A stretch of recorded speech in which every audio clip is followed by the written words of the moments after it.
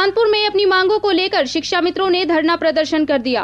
दरअसल supreme court द्वारा शिक्षा मित्रों का समायोजन रद्द करने के बाद से ही प्रदेश भर के साथ ज़िले भर में भी शिक्षा मित्रों का धरना प्रदर्शन लगातार जारी है। इसी के चलते चांदपुर क्षेत्र में शिक्षा मित्रों ने प्रदर्शन कर दिया। शिक्षा मित्रों की माने तो अगर जल्द उनकी मांगे पूरी नहीं हुई तो वे दिल्ली में जंतर मंतर पर धरना देंगे। चांदपुर से अतीक अहमद की रिपोर्ट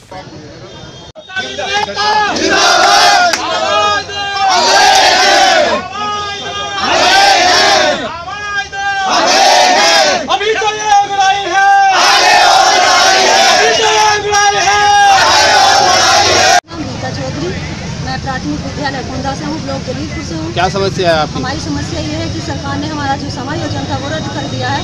उसके लिए हम धरना लगाए हुए हैं और हमारी मांग है कि हमारा समान कार्य समान वेतन होना चाहिए। जी। क्या चाह रहे हैं अधिकारी हम यही चाह रहे हैं कि जब तक हमारा या तो सरकार अध्यादेश लाए अगर अध्यादेश की जब तक कानूनी कार्रवाई पूरी न कर दे हमारा समान कार्य समान वेतन रखे। हम यही चाहते हैं सरकार से हम लगातार धरना पे रहेंगे हम पहले भी धरना पे जा चुके हैं लखनऊ रहे तब भी हमें आश्वासन दिया। हम सरकार से चाहते हैं क्या सरकार अभी आपको केवल आश्वासन ही मिल रहा जी जी हमें अभी आश्वासन दिया था हमारे जो अधिकारी हैं उनके साथ हमारी सरकार से मतलब मोदी जी से योगी जी से मीटिंग हुई उसमें आश्वासन दिया हम आश्वासन बेस पे अपने विद्यालय में गए लेकिन हमारा फिर वही रद्द कर दिया गया हमारा कोई हल नहीं निकला। जब तक हमारा हल नहीं निकला हम लगातार अपना यही धरना देते रहेंगे।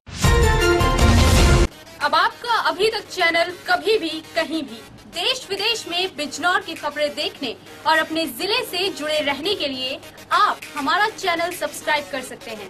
हमारे चैनल को सब्सक्राइब करने के लिए यूट्यूब पर लॉगिन करिए।